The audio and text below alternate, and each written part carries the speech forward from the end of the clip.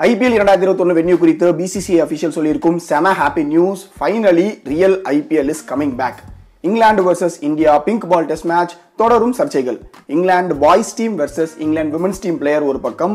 R Ashwin versus Yuvraj Singh silent மோதல் இன்னொரு பக்கம். கம்ப்ளீட் டீடைல்ஸ் ரிட்டையர்மெண்ட்டை அனௌன்ஸ் செய்துள்ள ரெண்டு former Indian cricketers umpires call முற்றிலும் நீக்கப்படுமா? எம்சிசி கொண்டு வரும் புதிய ரூல் சேஞ்சஸ் ஐபிஎல் இரண்டாயிரத்தி இருபத்தொன்னை ஸ்கிப் செய்வாரா டேவிட் வார்னர்? வார்னர் இன்ஜுரி குறித்து லேட்டஸ்ட் டீடைல்ஸ் மேலும் பல ஐபிஎல் கிரிக்கெட் அப்டேட்ஸ் தெரிஞ்சுக்கலாம். வாங்க டிசிஎன் நேர்களுக்கு வணக்கம்.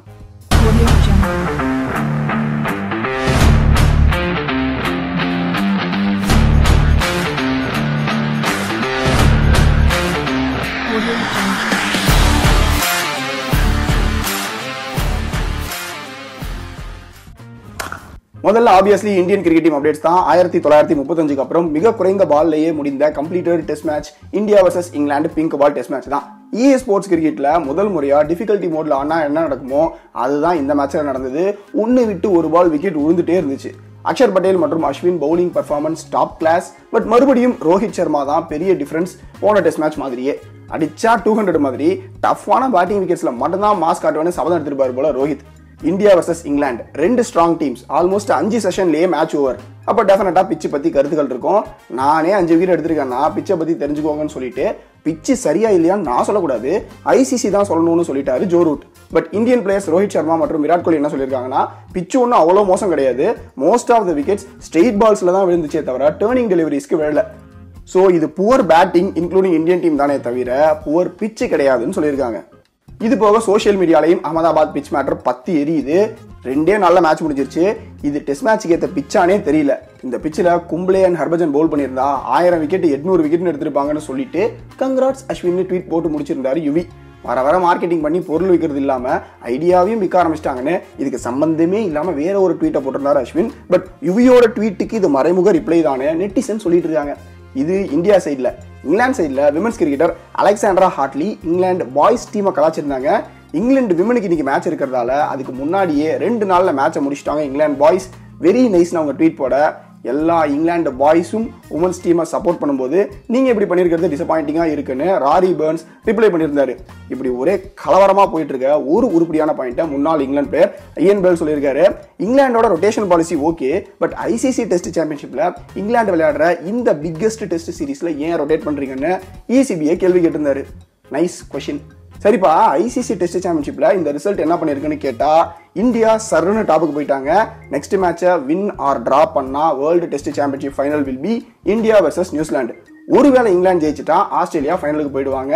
ரூட் மற்றும் boys are already knock out next update பத்தி பார்க்கறதுக்கு முன்னாடி சிக்வின் ஆப் பத்தி ஒரு சின்ன இன்ட்ரோடக்ஷன் சிக்வின் இந்த company Indian amusement and gaming கார்பரேஷனுக்கு கீழே லீகலா லைசன்ஸ்டு பண்ண ஒரு கம்பெனி இந்த ஆப்பை நீங்க இன்ஸ்டால் பண்ணும்போது ஹண்ட்ரட் ருபீஸ் போனஸ் உங்க அக்கௌண்ட்ல ஆட் ஆயிடும். இதை இன்ஸ்டால் பண்ண உடனே நீங்க உங்க அக்கௌண்ட்டை இதை ரெஜிஸ்டர் பண்ணணும். டிஸ்கிரிப்ஷன் அண்ட் ஃபர்ஸ்ட் கமெண்ட்ல இருக்கிற லிங்கை யூஸ் பண்ணி நீங்க இந்த அப்ளிகேஷனை டவுன்லோட் பண்ணிக்கலாம். இந்த அப்ளிகேஷன்ல கிரிக்கெட் ஃபுட்பால் மற்றும் மெனி மோர் கேம்ஸ் இருக்கு.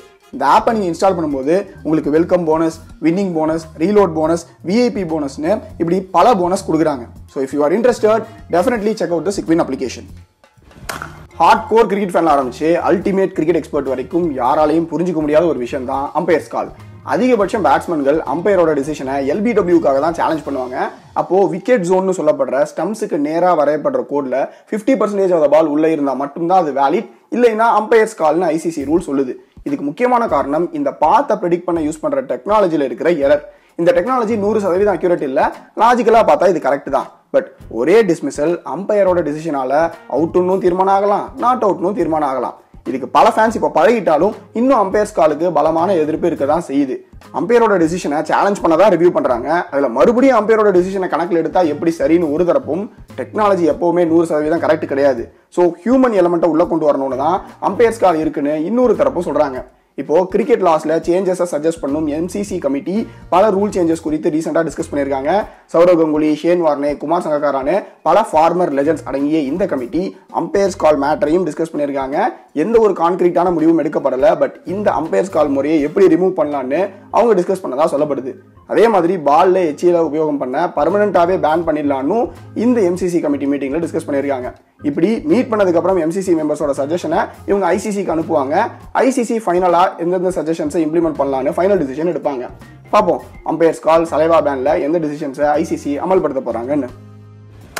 விஜயஹாசாரே டிராஃபி அப்டேட்ஸ்குள்ள போறதுக்கு முன்னாடி ஒரு ரிட்டையர்மெண்ட் அப்டேட் சாரி ரெண்டு retirement update all forms of கிரிக்கெட்லேருந்து retirement announce பண்ணியிருக்காங்க. முன்னாள் இந்தியன் கிரிக்கெட்டர்ஸான வினய்குமார் மற்றும் யூசுப் பதான். இதில் யூசுப் பதான் ரெண்டாயிரத்தி ஏழு T twenty world cup winning team மற்றும் ரெண்டாயிரத்தி பதினொன்று ஓடிஐ வேர்ல்டு கப் வினிங் டீமோட கீ மெம்பர் அண்ட் மிக முக்கியமாக ஐபிஎல் ரெண்டாயிரத்தி எட்டில் ராஜஸ்தான் ராயல்ஸ் கப் ஜெயிக்க காரணமாக இருந்த ஒரு ஸ்ட்ராங் இந்தியன் பிளேயர் பல ஐபிஎல் ஸ்டார்ஸ் விஜயசாலை டோர்னமெண்ட்டில் அதகலம் பண்ணிட்டு இருக்காங்க.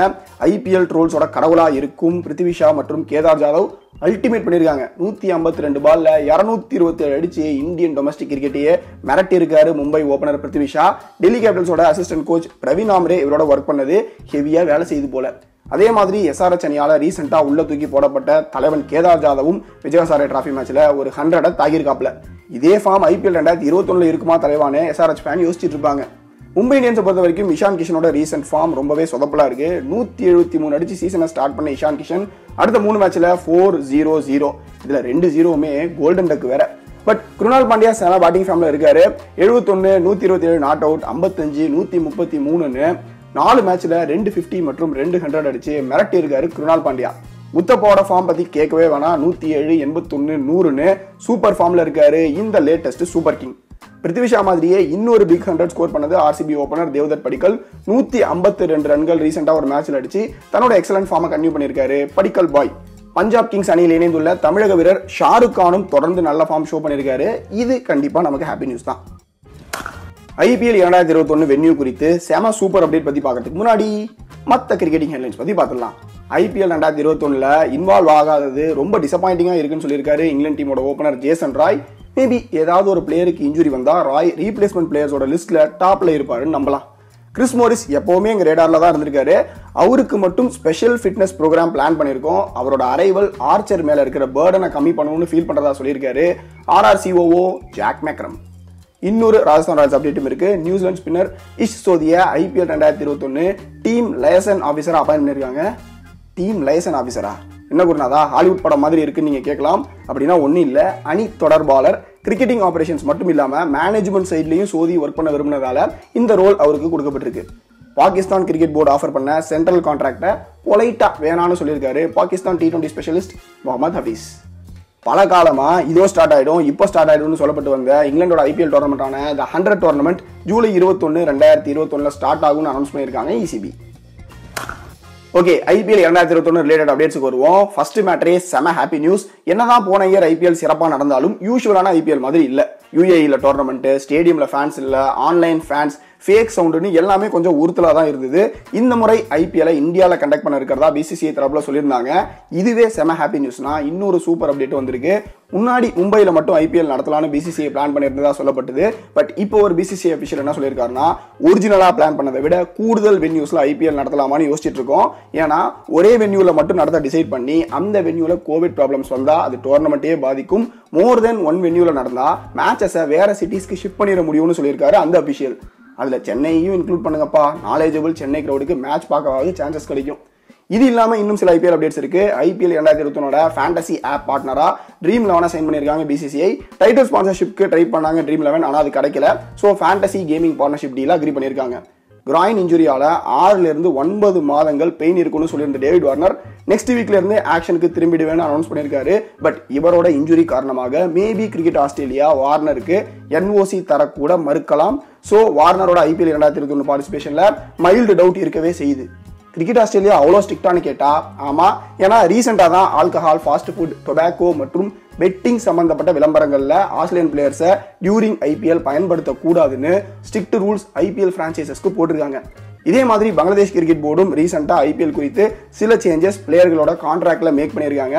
ஷக்கீபோட ஐபிஎல் பார்ட்டிசிபேஷன் ரெக்வஸ்ட்டுக்கு அடுத்து இனிமேல் எந்த டைமிங்கில் நேஷனல் டீமுக்கு நீங்கள் அவைலபிளாக இருப்பீங்கன்னு நேஷனல் கான்ட்ராக்ட்லேயே ஸ்பெசிஃபை பண்ணணும்னு பிளேயர்ஸுக்கு ரூல் போட்டிருக்காங்க பிசிபி ஷகீப் ஐபிஎல் ரூட்டை எடுத்தாலும் முஸ்தபிசுர் ரஹ்மான் கிளியராக சொல்லிட்டாரு. எனக்கு பங்களாதேஷ் தான் முக்கியம். ஸ்ரீலங்காவுக்கு எதிரான டெஸ்ட் சீரீஸில் நான் செலக்ட் ஆனால் ஐபிஎல் ஆட மாட்டேன். பங்களாதேஷ்க்கு தான் ஆடுவேன்னு ஸ்ட்ராங்காக சொல்லியிருக்காரு ஃபிஸ் சரி India versus England pink ball test match pitch பற்றி உங்கள் ஒப்பீனியன் என்ன? அது ஒரு ப்ராப்பரான டெஸ்ட் மேட்ச் பிச்சு தானா?